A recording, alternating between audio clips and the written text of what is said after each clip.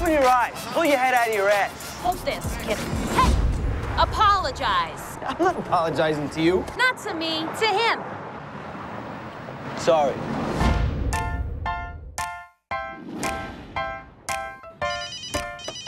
Hi, sweetie. Mom, We can come into the city and meet you for lunch. please don't come in, Mom. That is not why I'm calling. What's the matter? I think I messed up at work today.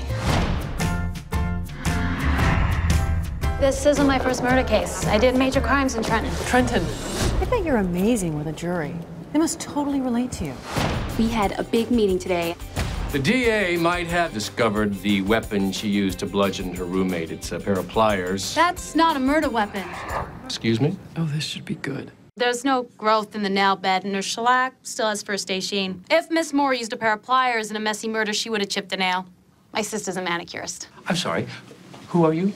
Okay, deep breaths. Take it easy. Luke Aronson wants to see me. Rose, he sounds like a tool. A senior attorney here, this could be bad. No, no. He probably just thinks that you're gorgeous and smart. Is he short? Short men love you, Martina. Donovan Stark is so grateful for your contribution to the Moore case, he's anointed you third chair on another murder case. Martina's here! Baby Big Shot coming in from the city, late and empty-handed as usual. Good to see you too, Deb. What happened? They put me on a case already. Third chair. And you were so worried, huh? Let's see. We were trying to piece together Professor Robinson's final hours. I didn't see him that night. Well, how often did you go to his apartment? I didn't say. You said you didn't see him that night, so uh, sounds like there were other nights you did see him. That just earned her a subpoena? No, no, no, no, no, no.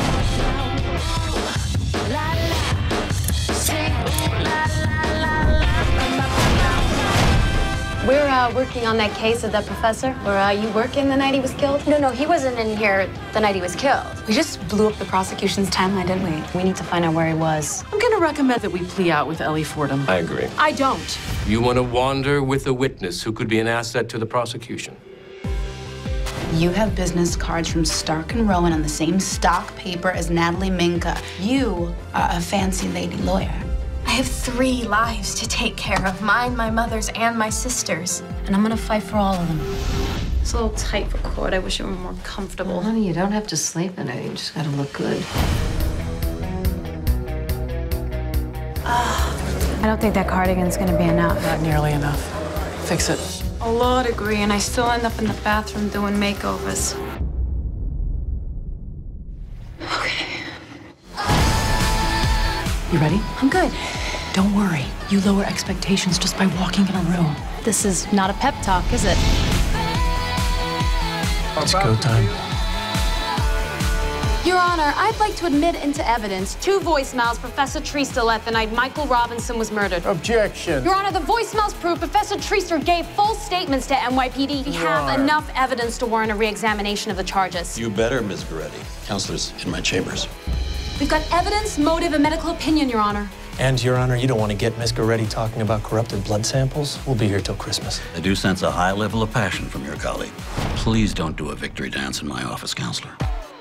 They dropped the charges, Ellie. You're free to go. It's over. She did it. Yep, she did.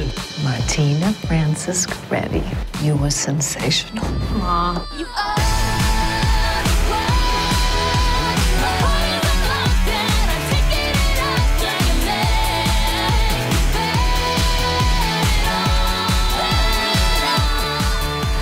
Hold still. It's got some bite. I'm tougher than I look.